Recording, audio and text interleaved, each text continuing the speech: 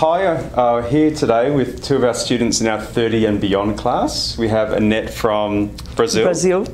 And we have Diana from Switzerland. So I just wanted to maybe ask you uh, about your experience of studying in the 30 and beyond class and maybe what's different to other classes. Uh, I think it's 30 Plus is composed by mature students who really want to, to speak and learn English. Uh-huh. So it's a good experience for me. And what about And, you? uh, I think in this class we have some topics that are for mature people, you know, so uh, it's not like when you speak with uh, a guy for 15, 15 years old, it's different. So Uh-huh. I feel me better and, uh, and also the people is more open, I think, too.